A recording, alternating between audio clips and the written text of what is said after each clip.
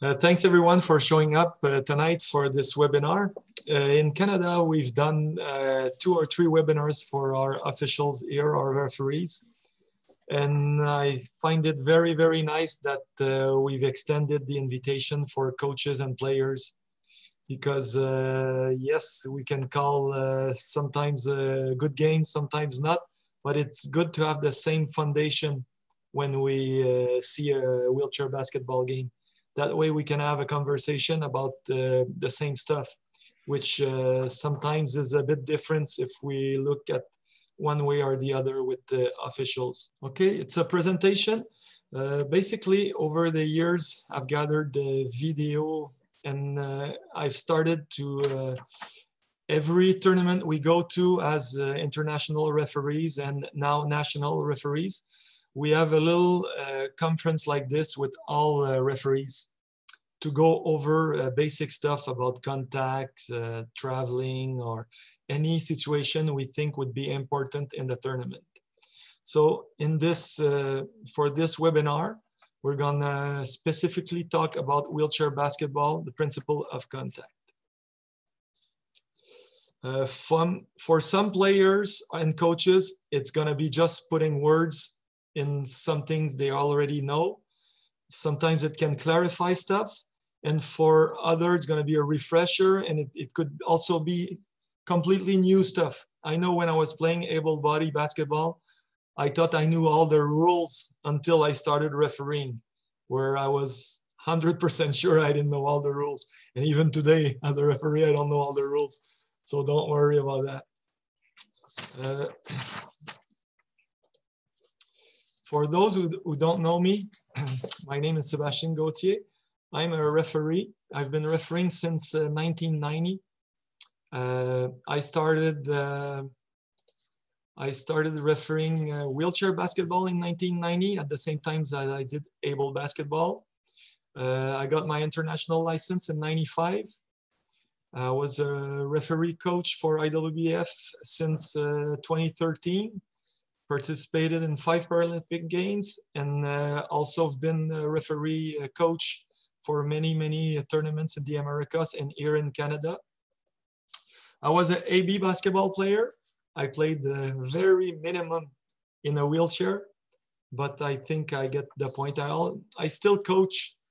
I don't play anymore, but I still coach. So have a feel for players and coaches uh, when uh, when I referee because uh, my kids do play. So I've, I know what they feel also when they're playing. So I think it's important for a referee to gather all this information.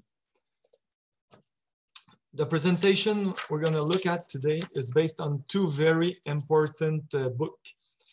And uh, I encourage everybody to lead to uh, read those books those are the, for now, the 2018 or 2020 uh, IWBF official wheelchair basketball rule and the 2011 principle of contact in wheelchair basketball by Russ Duell. Those are the fundamentals in order to understand wheelchair basketball.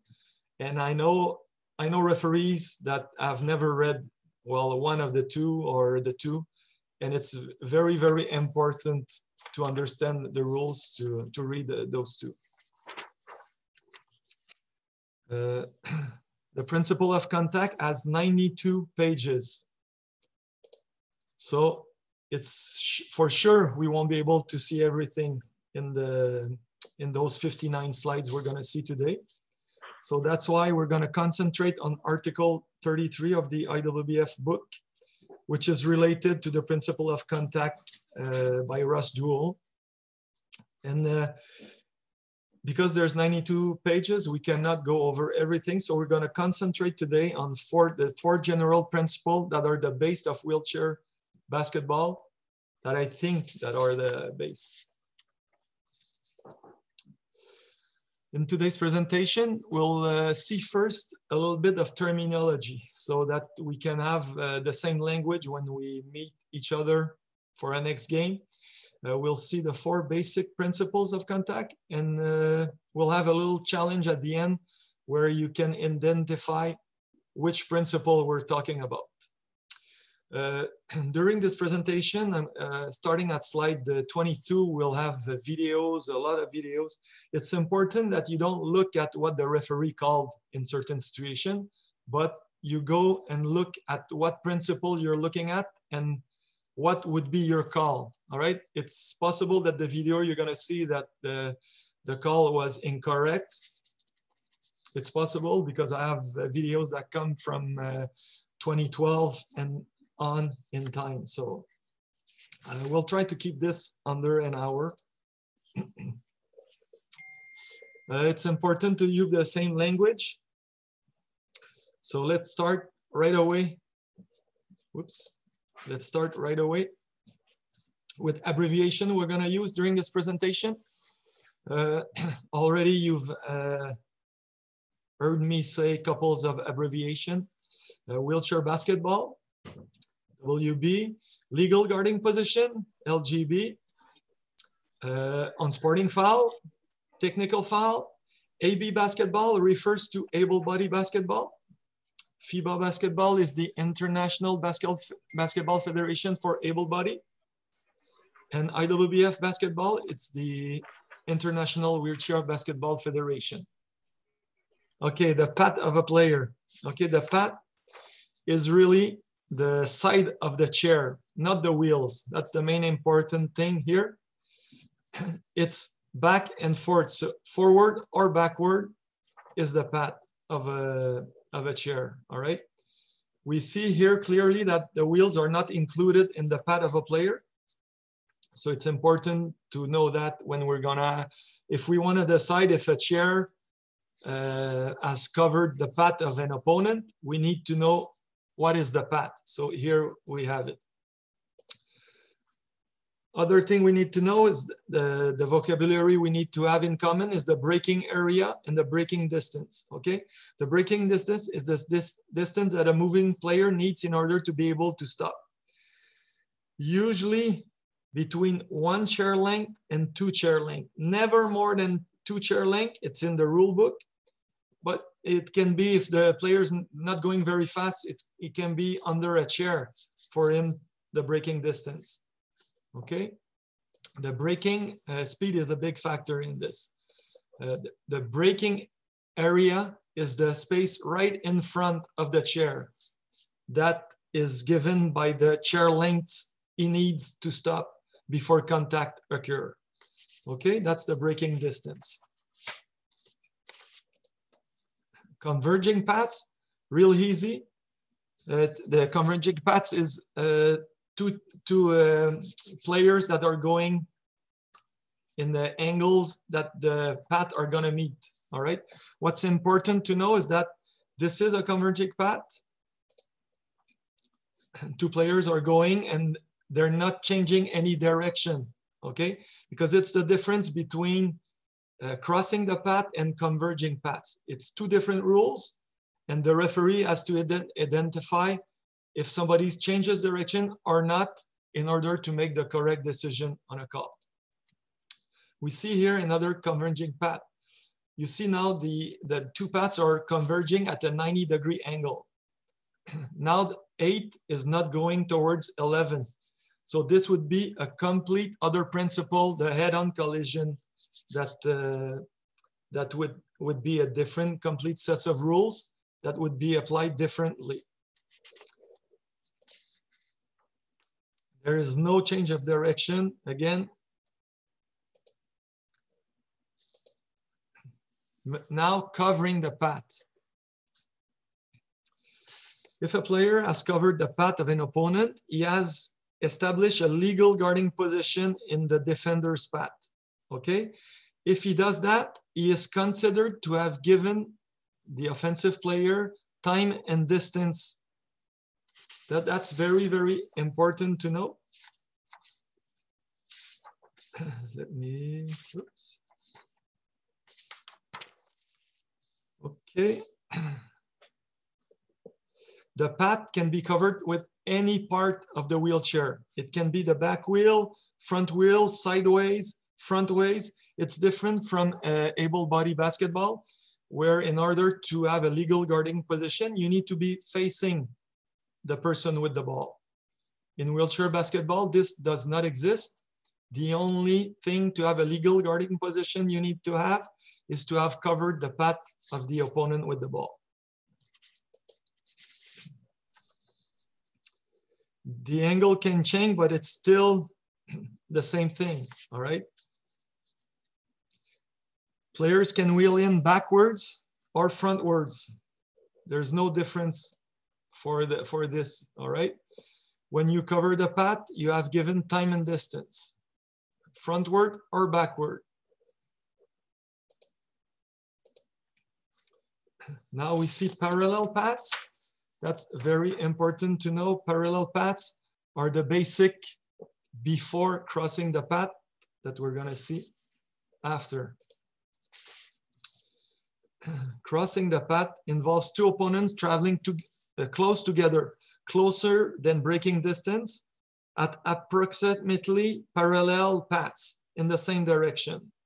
A crossing the path situation occur, uh, sorry, occurs when one of these players changes direction and turns across the path of the opponent. Okay, that's that's one of the hardest rule to apply for a referee. That with converging paths, that's why we're gonna look at those two uh, rules tonight. We're gonna explain it further in the webinar as we go. And the last thing we need to have to judge correctly crossing the path is to know terminology when we pass rear axle we teach our referees always that's a we need to know where the rear axle is so that's another terminology that we need okay we'll go right in the four principle we're going to look at tonight which are guarding a player who has the ball guarding a player who does not have the ball screening and the last one we're going to look at is crossing the path let's start with the principle guarding the player who has the ball. We have uh, a more severe uh, a more severe rule for a player with the ball than a player without the ball that we're going to see after. Uh, and it relates also that uh, the player with the ball cannot stop as quickly as the other one because again, he's not touching his wheel. That's why we need to cover the complete path when we're talking about a player uh, who has the ball. To obtain a legal guarding position, the player must cover the path of the player with the ball. All right, in this photo we see here, the player has completely covered the path of the player, so he has a legal guarding position. Any contact after that would be the responsibility of the player with the ball. Or he can stop in part of the path, but give time and distance to the player with the ball in order to avoid contact. In that case, we see red four has established a legal guarding position because he stopped in the path after the braking distance or the braking area of blue five. That's, uh, that's the two possibilities for guarding a player with the ball. There are no other possibilities when we're talking about uh, guarding a player with the ball.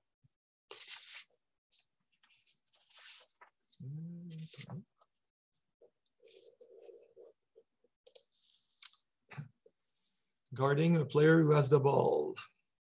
In this example, blue 13 fails to cover the path and she also fails to give time and distance to white 10 to stop.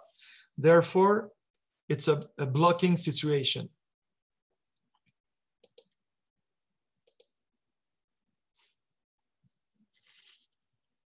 So what we teach our referees to look at is to identify what's going on. Is it uh, crossing the path? Is this converging path? in this situation, we see converging path, a player with the ball and a player that fails to cover the path of a player. Hey, Seb, uh, just a yes. question. Uh, if you if you want to go back just to that one, I had a question from someone. Uh, uh just, uh, I know this is obviously animated, but so 13 would have to be further up the path to basically uh, uh, cover the path. Exactly. And we can see it's not the wheels that count. See, if 13 would be just a little bit over so that the front of her chair could cover the path right here of white 10, right. we would have um, a charging call. In this case, the path was not covered and time is distance. One of the two situation were not given. So we have a blocking situation. We'll see, uh, we'll see this in video right now, okay? Uh, slide, slide 22, everyone. Uh, Sean just put it on, so you'll get a chance to look at it also. Let's see if you guys can see it here with me using it. There's going to be a replay of the of the file so you can uh, look at it more. So look at the pad of the chair, converging path, trying to achieve a legal guarding position. We can see that none of that was done. Okay, I'll stop it right here. Hold on a second. So she tries, remember, white as the ball. So in order for 13 to have a legal guarding position, she needs to cover the path completely. If, we'll talk about later if she doesn't have the ball, but right now, even though 13 was there first, she doesn't cover the path and she did not give time and distance. So we have a blocking foul, a blocking situation.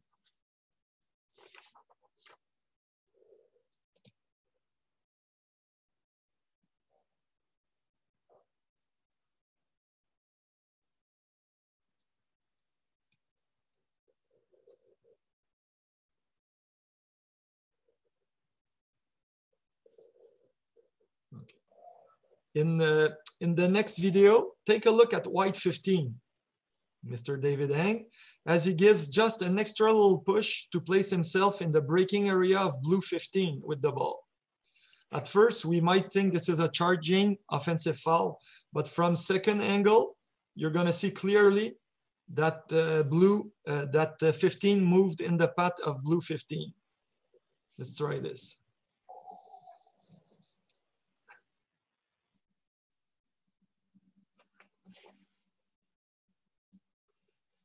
We'll see it from the same angle and then a different angle. And you can appreciate that there, there was space and the contact was done. There was space for blue 10 to pass and he has the ball. So if white 15 wants to have a legal guarding position, he needs to cover the path completely or move himself outside of there. Uh, unless he doesn't move at all, if the player doesn't move at all, then it's clear that he gave time and distance for a, a blue 10 to stop his uh, wheelchair. Let's see it again.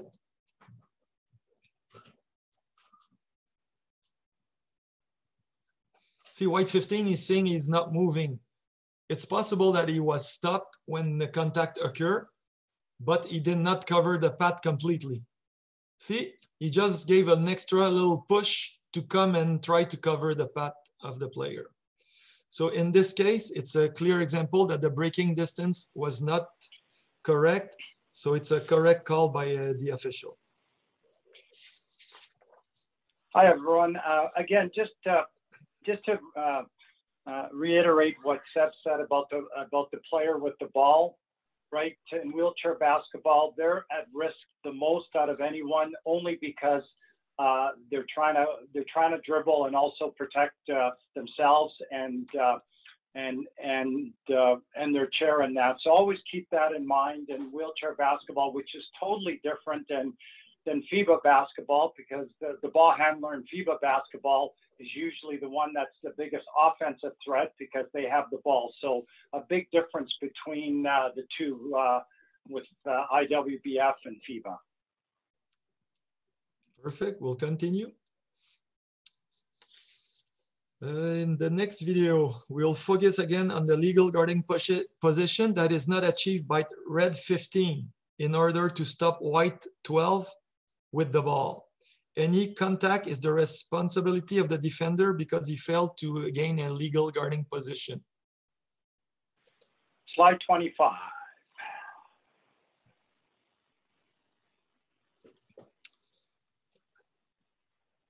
See, it started with a head-on collision that we're not going to see today, but then he changed direction into the path of uh, the opponent.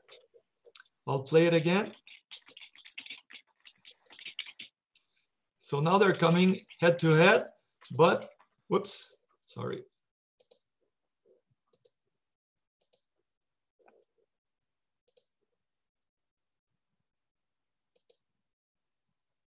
See, he doesn't cover the path. He creates contact and white 12 has the ball.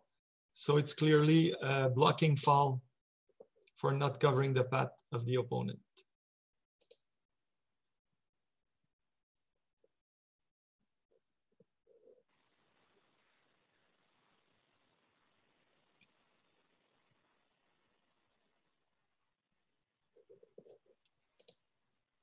Okay, next slide.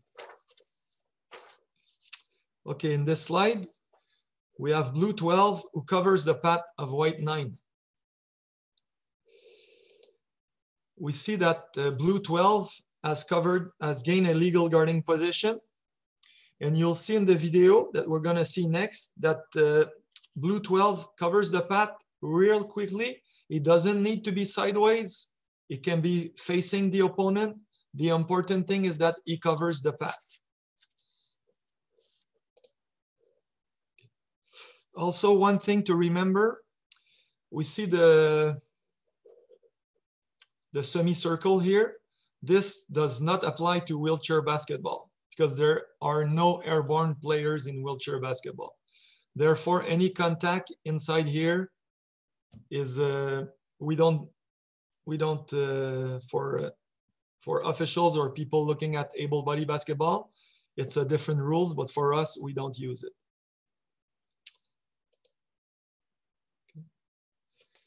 We see here white nine must decide either to continue on his path and gamble or whether he could reach the spot first before blue 12 or whether he should brake or change direction to avoid contact. He decides to continue. Instead of braking, he continues. He creates contact. Even though it's close to the basket, we don't have the semicircle rule. So this is uh, uh, an offensive foul by uh, white nine. The next one we're gonna see, okay? I want you to look at uh, red five tries to cut in and shoot while the defender tries to achieve a legal guarding position by covering her path. Okay, take a close look if the path is covered or not.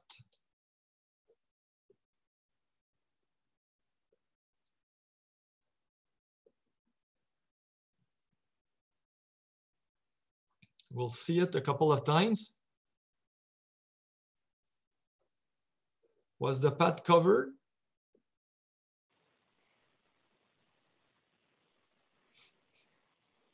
Okay, we had the old saying by players and uh, referees also that uh, you cannot cover the path of a player if the player is shooting and has the ball in, in his hands.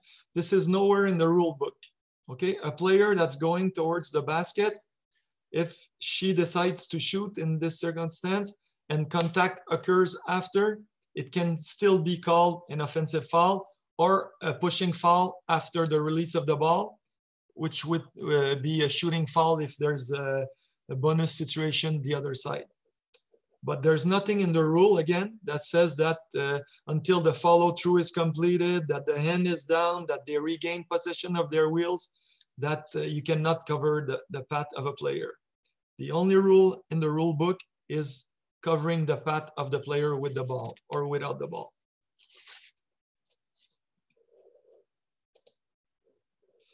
Okay, in the next video, we see that uh, those rules, they apply anywhere on the court. Okay, it doesn't have to be uh, right under the basket. It can be anywhere. Blue six covers the path of white four at center, therefore creates an offensive foul. We're, we're gonna see many, many time the, the video so you can have a, good look at it.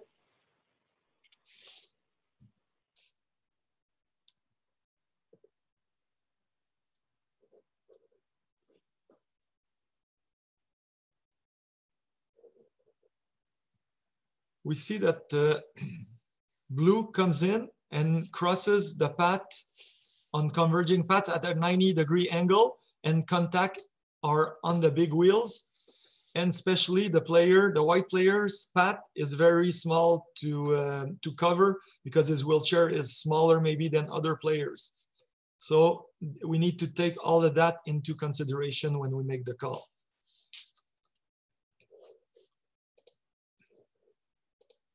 Okay, we'll now see a guarding a player who does not have the ball. We'll see that the rules are different for a player with or without the ball.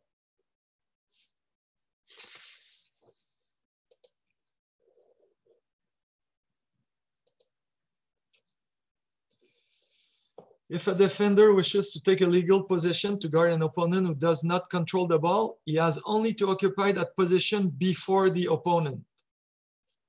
Very big difference. No need to cover the path of the player. You just need to be there first. Uh, so who gets there first is the big thing we ask our referees to look at when there's no ball involved.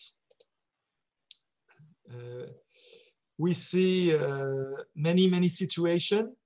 We can see crossing the path without the ball. Uh,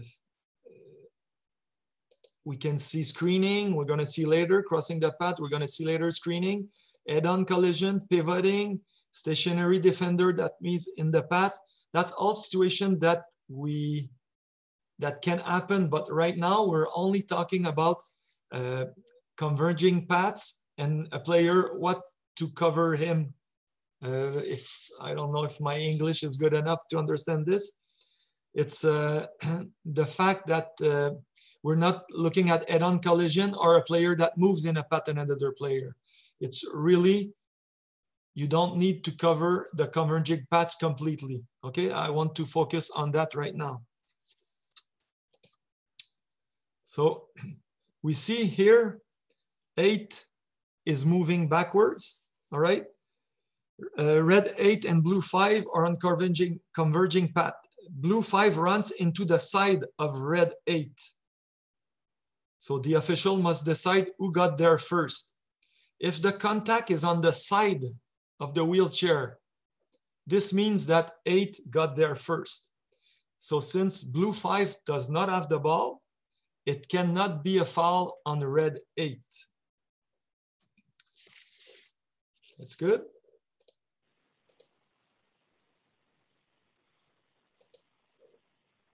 We see here white 14, and blue 7, okay? Uh, white 14 and blue 7, they are on converging paths. The official must decide who gets there first.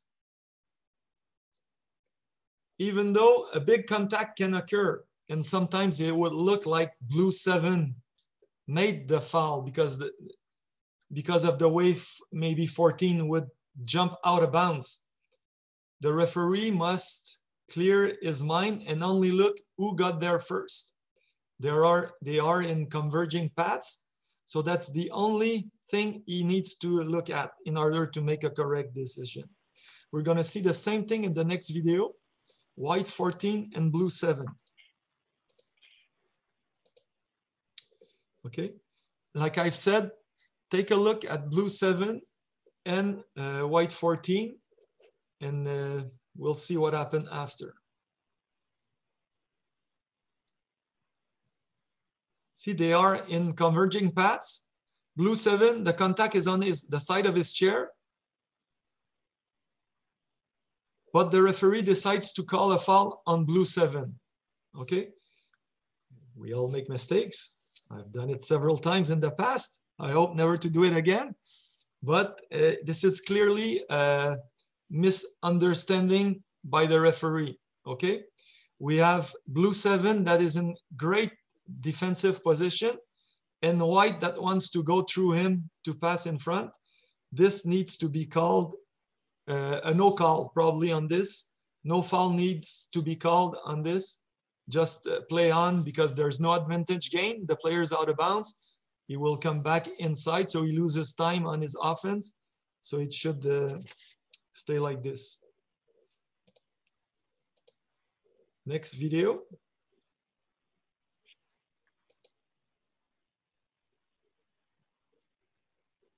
Sure looks like uh, white 15 pushed or white 14, sorry. Uh, no, it's 15. Okay, white 15 and red 6 on converging paths. Here we can think that white 15 did something wrong because red 6 went flying all over the place. But if we look at it again and we stop and we apply the principle, white 15 had the right to be there because he was there first because red 6 does not have the ball. That's the very important thing. The ball is next to him. So there's nothing. White 15 is not setting a screen. White 15 is going in front of uh, red 6. Hi, everyone. Uh, this is probably one of the most difficult uh, principles um, for the referees uh, to learn and master because you see all the contact, and of course the players and coaches see all this contact. But if we if we follow the principles of it, uh, yes, there's a lot of contact, but uh, sometimes that player that uh, is is converging without the ball and, and, and going in a straight line, they have done nothing wrong. Uh, although the contact seems uh, uh, tremendous. Uh, it's, I would say, and I think Seb would agree, and probably most of the referees, this is by far the, the hardest principle to learn as a, as a referee. Yes, of course. That's why we need to take uh, any other equation out of the, any other things you see out of the equation and concentrate really at who, who gets there first. That's how you make your decision. And you need to decide which principle. We'll see uh, uh, the last four clips of this presentation. We'll see if you make the right call on uh, those, uh, those video we're gonna uh, show you. Let's now see the third principle that very, very important for me. It's the screening.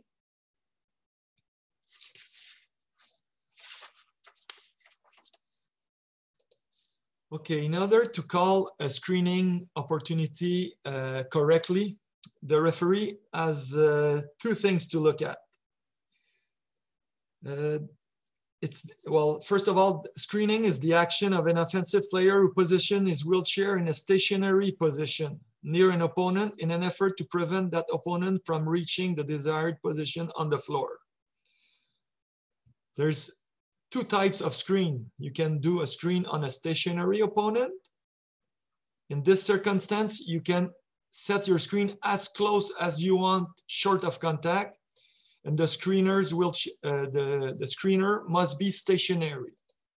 The second thing that can happen is that you're gonna screen on a moving opponent. This is one of the hardest place to referee. You must you must cover the path or give time and distance, a little like if the player had the ball. So the referee has to go in between uh, two principles here. The guy doesn't have, the guy or the player doesn't have the ball. And there's, a, there's, a, sorry, I got disturbed there. And, and it doesn't have the ball, but he has to apply the principle of a player with the ball. So for a young official, those are very, very difficult to apply.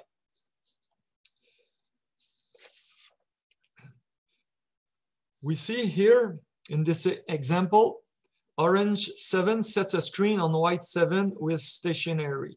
Orange 7 fails to stop short of contact, creating an advantage for her team.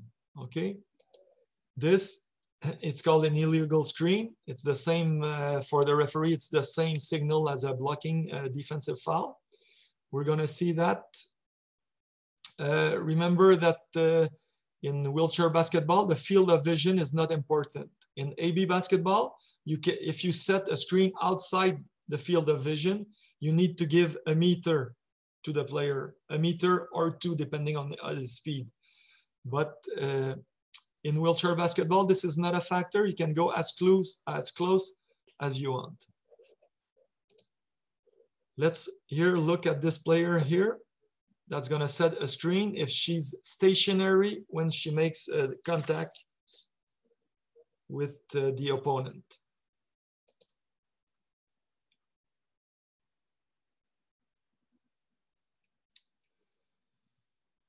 So we can see, we're gonna look at it again. Doing the screen, she initiates contact, creating an advantage to her and her team. This action should be called an illegal screen.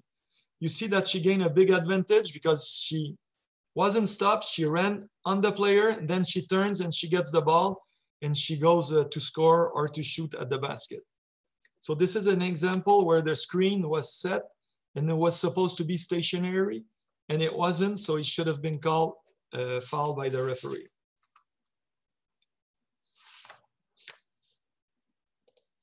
The other example, we're gonna see it's on a moving player, okay?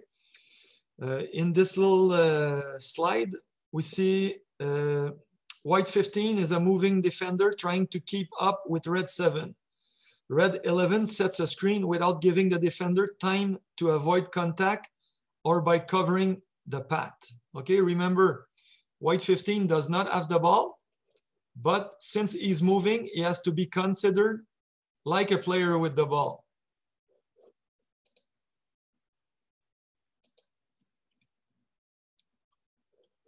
So in this case, we see a red 11 that covered the path here, we see.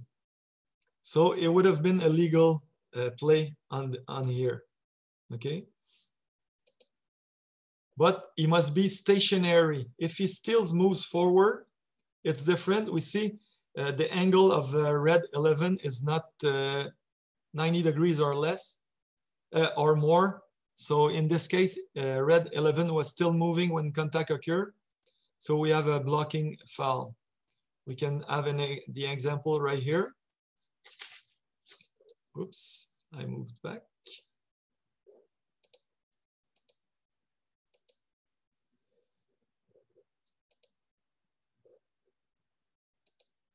See here.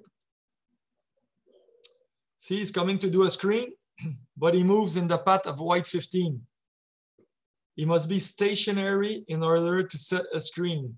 If you move, even though you just a little bit outside the cylinder, it gives an advantage uh, to, uh, to your offense. Let's look at it again.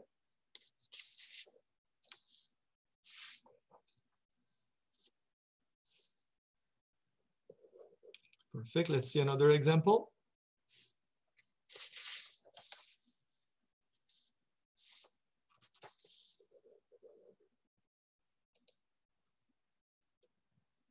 See just a little contact by white seven.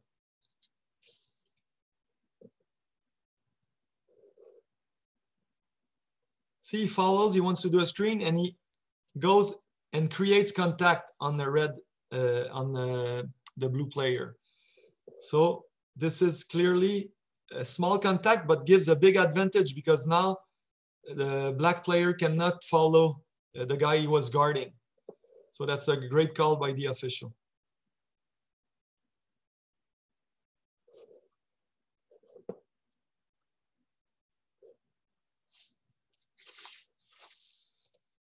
Let's now take a look at the last principle we're gonna look at today, crossing the path.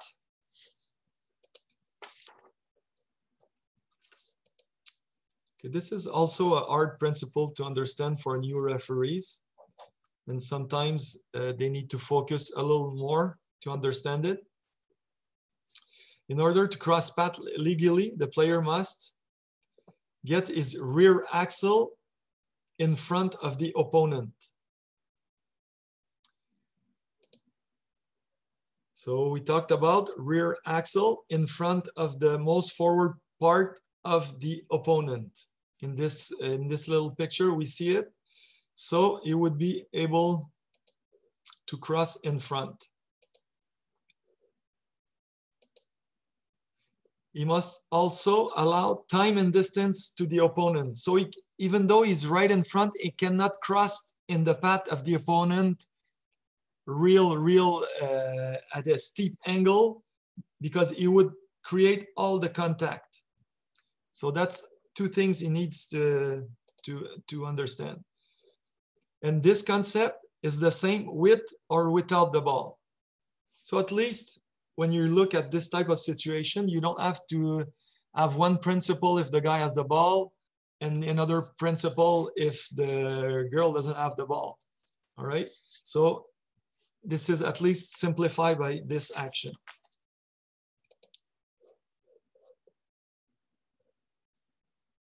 So if a player crosses the path legally, all contact is the responsibility of the opponent.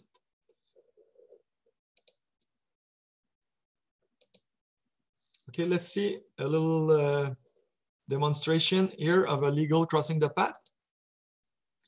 We see that blue seven is now as his rear axle in advance.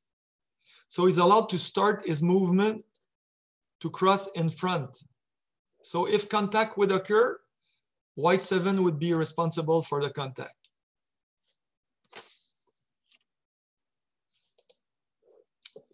So we saw both seven. We'll see them again right here.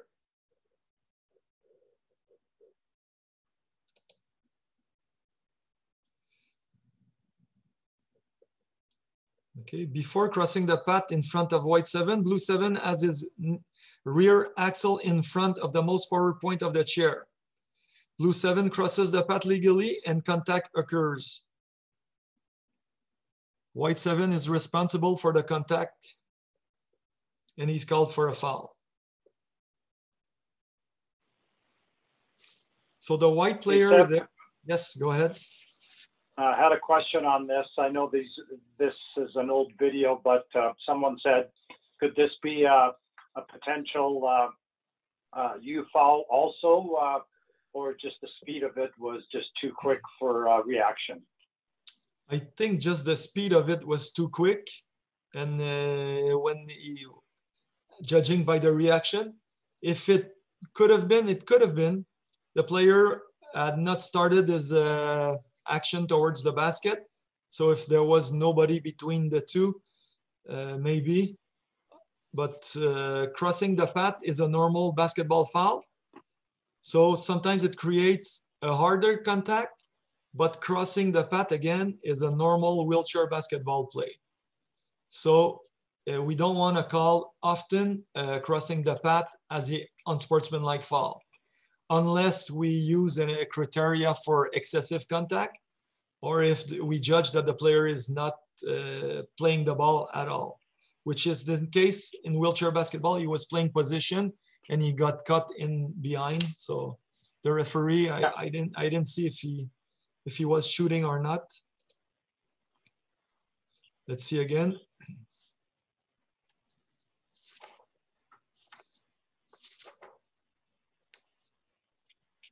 So we can Sounds ask. good. Thank you. Yeah, good.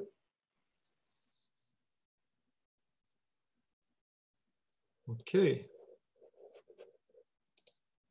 Next slide. We'll see now an illegal crossing the path. We see red five is not in front. His rear axle is not in front of white nine. And he's attempting to cross into the path of white nine too early before getting in front. When contact occur, there is a disadvantage for white nine.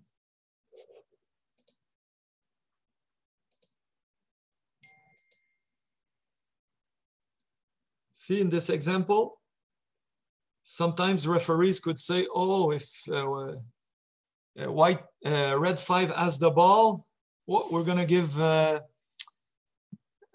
the uh, advantage to red five because he has the ball but the principle is the same with or without the ball.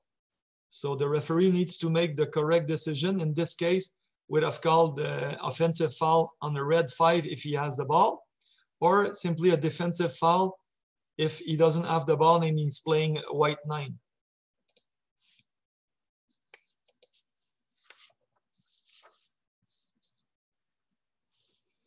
Uh, red five and white nine we'll see here in display, those are the player here.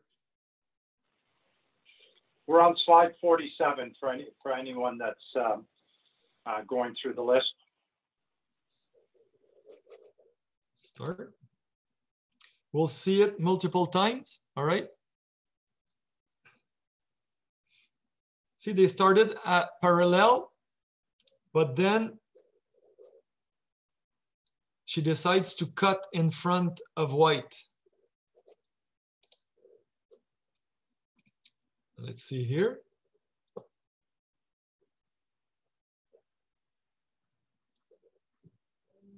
Oh, the video stopped. See right here, she has her path here and red wants to cross in front of her path. But her axle is not in front of the most forward part of the white player. That's why it's a crossing the path foul.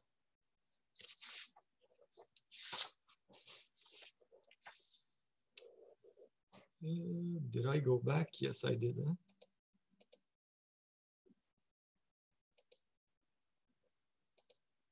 Okay, in this next situation, uh, we have uh, two parallel paths going towards the basket. White 15 wants to cross in the path of red 10, who has the ball on a fast break. Again, like we've said before, this could be an unsportsmanlike, but it's clearly a crossing the path uh, foul.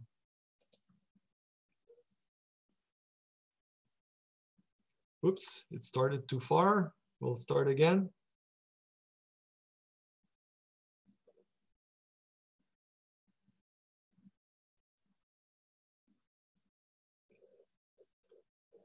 See, at this point, you have to judge, the referee has to judge if uh, white 15 is legitimately trying to cross path or just making contact for to avoid uh, a player from scoring.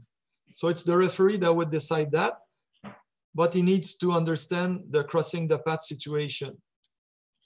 Okay, uh, here we go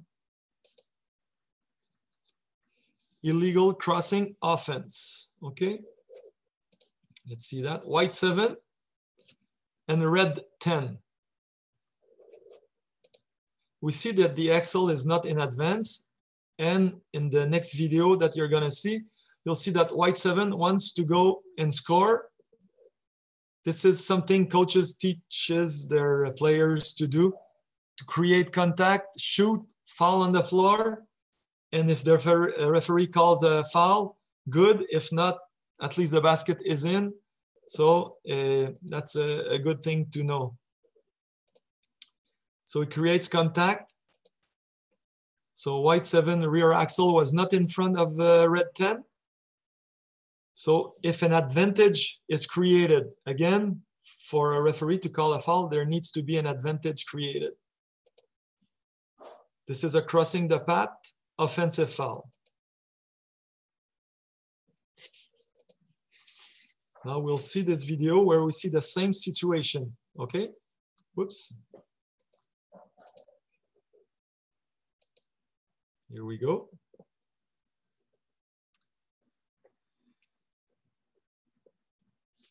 This play is common amongst players that want to draw a foul during an action to the basket we see that red 10 even changes direction to further himself from white 7. But white 7 still comes into red 10 in order to draw a foul. This is an illegal crossing the path by white 7 and it creates an advantage. An offensive foul should have been called on white 7 by the referee.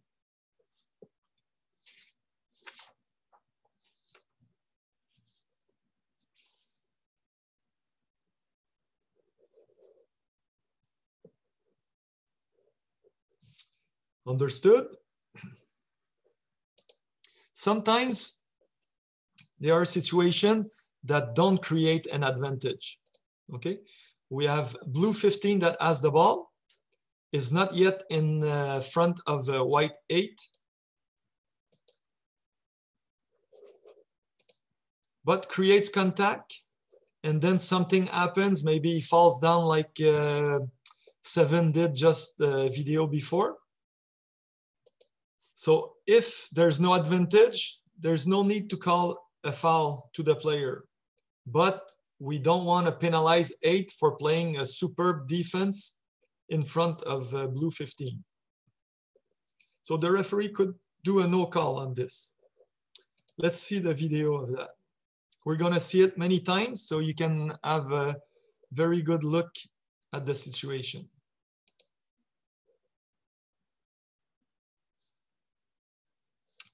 You see that uh, white 8 has a good path and he continues. The slight movement that you see eight, white 8 do is because 15 enters in the back of his wheel, creating a little movement by white 8 but who initiates contact is blue 15. Therefore, the referee does a good job and has a no call on that because he loses the ball and he gives the ball to white.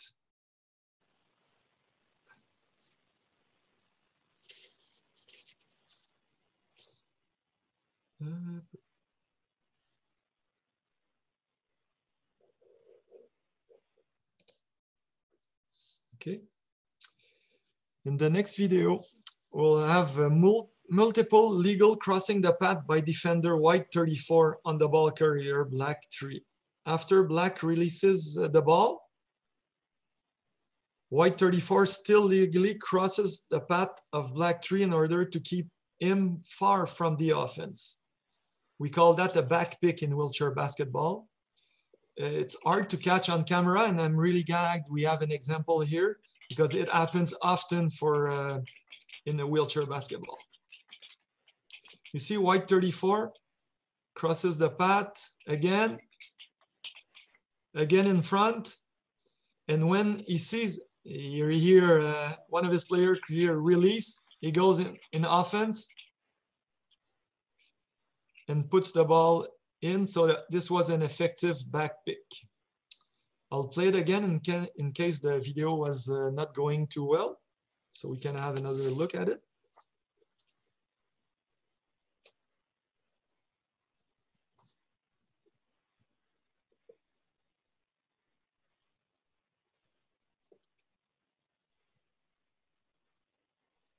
Everything that 34 did in this uh, play was completely legal. There was contact two, three times with uh, the offensive player but every time he had covered the path and he was there in, the, in front of the player. So he had legally a legal position on the floor. Let's see now if you can determine the principle involved and the appropriate call by the official in the next four videos. Okay, there's gonna be a poll coming out after the video to ask you if A, you think that the player gets there first or it's a situation of screening situation. Again, uh, when a play happens in a game, the referee has to decide quickly if he's calling a screen or who gets there first. Because if you followed from the beginning of the presentation, there are two different rules. If he's covering a screening player, you need to, and the player is moving, it's a screening situation, you need to cover completely the path and you need to be stationary. But if you're only placing your wheelchair at a better spot on the floor, you only, you only have to uh, get there first. So let's see the video and you tell us after what you think.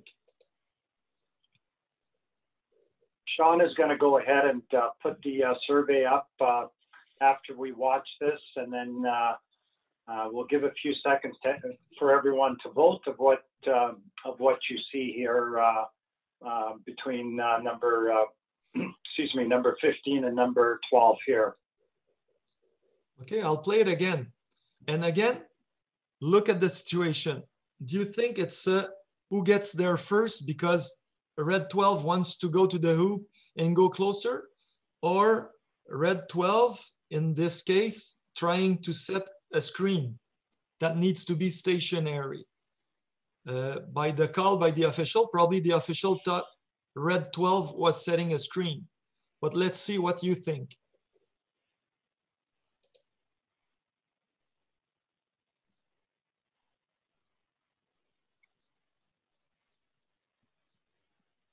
See, white 15 is defending red 15.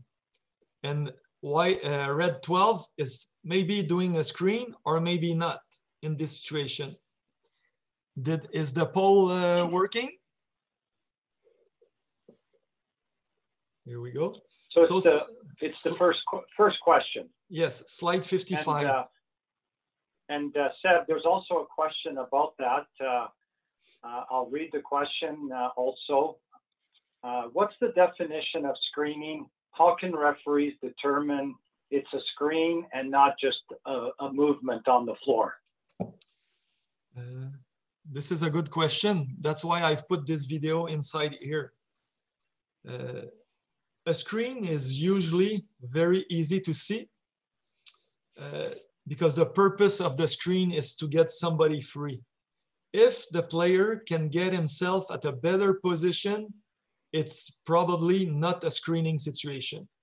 In this example with red uh, 12 here, for my angle, from what I see here, I would have not called the foul on red uh, 12 maybe stop the play because 15 was on the floor. But I would not uh, have called a violation. Let's see it again, okay? So yes, 12 wants to get there first, but see the ball is on the other side of the key.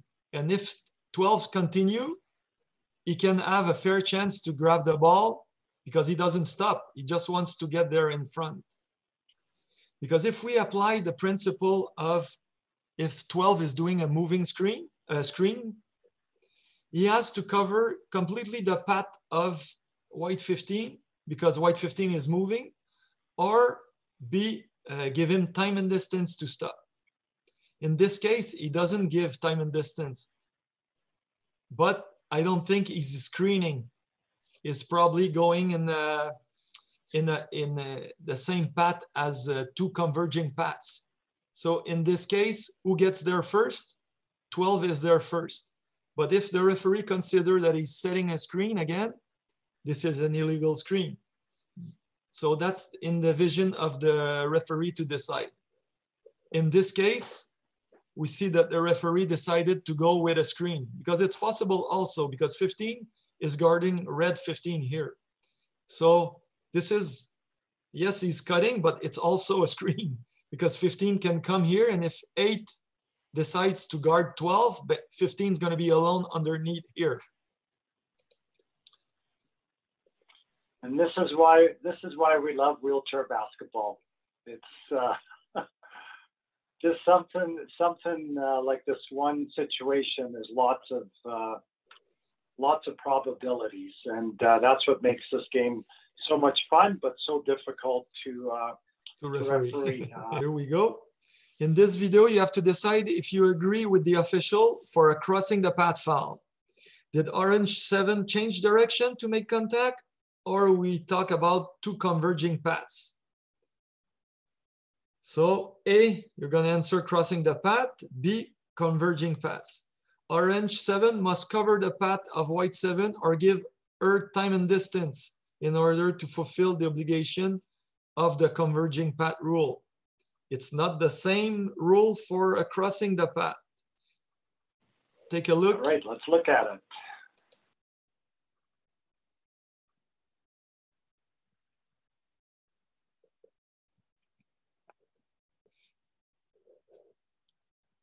We'll see a different angle.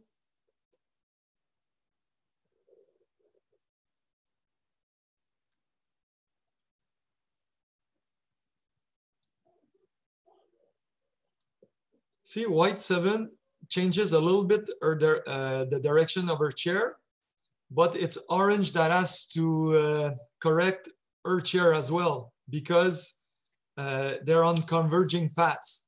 So even though she gets there first, her rear axle is in front, we're not talking about uh, crossing the path. We're talking about converging paths probably.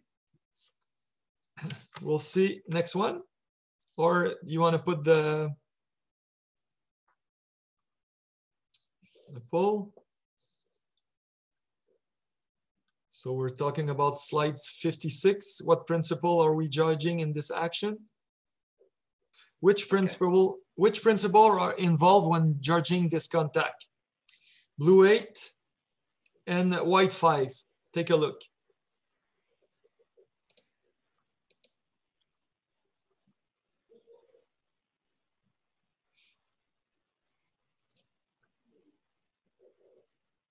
Are we talking crossing the path or who gets there first? And would your decision be the same, one or the other? Let's take a look again.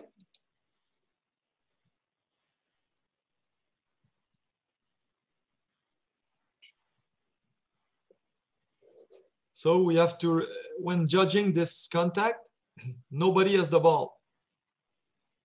So it helps crossing the path is the same with or without the ball. And converging paths, it's not, uh, it, it's really a big difference. So you can make your decision on this one as well. The last one we're gonna look at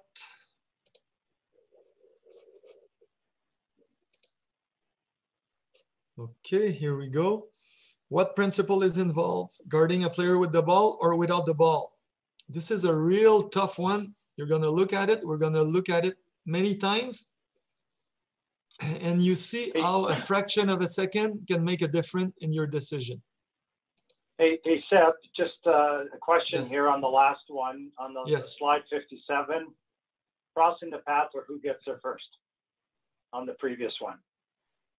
Uh, the previous one, yes, go ahead. Yeah, it's crossing the path or who gets there first on slide 57. Oh, uh, I believe it's who gets there first, but probably you would have the same decision with crossing the path. But it's So clear the that the, answers could be the same.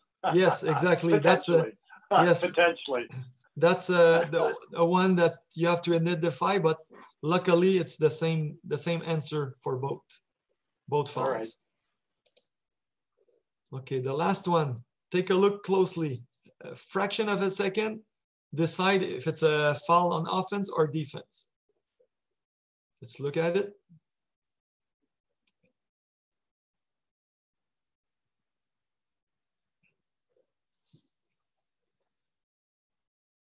So if we think that white eight is a player with the ball, we must cover the path or give time and distance. Decision would be blocking foul on blue 11.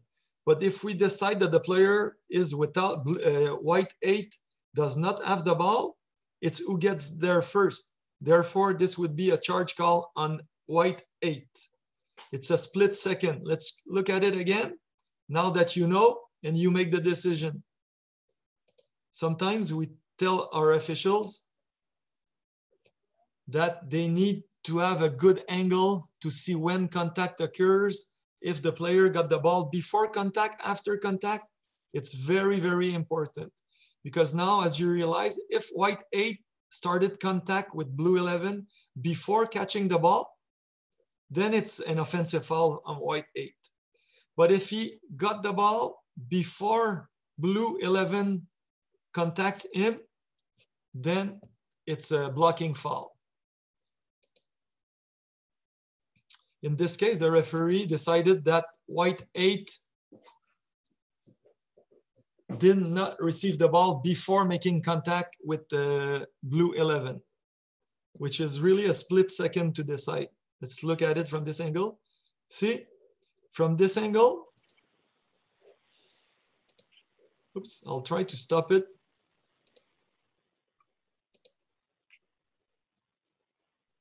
See, did contact occur before? It's like a fraction of a second. Because if it happened, the first contact happens before that Joey Johnson gets the ball, then it's the correct call. It's an offensive foul. If he gets the ball, so to me, it's a 50-50 call. But we do need a call on a big contact like this in the key. That's what we tell our officials.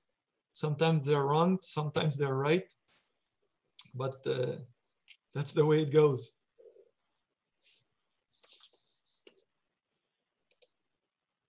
Again, keep in mind, uh, these decisions are made, are made in a split second. We have the luxury now of watching this one video probably a dozen times here, deciding what the right call might or might not be in that. But um, uh, whether it's the players, the coaches, or referees uh, out there. Uh, these are split second, uh, split second decisions, and uh, like Seb said, sometimes the referees are going to get them right, and uh, and sometimes they're going to get them they're going to get them wrong based on the principles. I hope you've enjoyed this webinar. we do those webinar with officials before tournament uh, this year we did three during COVID so that everybody thinks about wheelchair basketball as we go.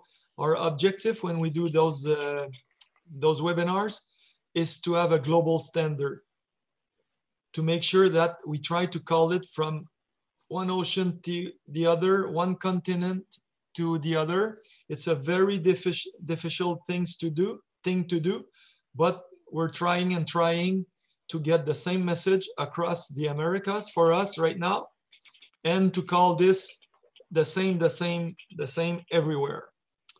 Uh, I would like to thank again uh, Sean Liebich from uh, Wheelchair Basketball Canada. Without him assisting us in giving this uh, webinar, it would have been impossible. Uh, also, I would like to thank uh, Sergio Giordano for his help preparing this presentation I really uh, am really grateful for Sergio for helping me presenting this uh, this uh, presentation, and uh, to Jorge Basiliero for asking me to do such a thing. It's a lot of work, but it's uh, really I think it's uh, the for me it's the first time I'm able to give a clinic to players, coaches, referee at the same time I know that uh, Mike in Toronto have asked me many times to come and do clinics, but I couldn't make it over there to players and uh, coaches. And hopefully we can go forward and giving uh, more webinars on different topics uh, so that wheelchair basketball evolves in the right way uh, with great calls and with player improving with the way we call the game.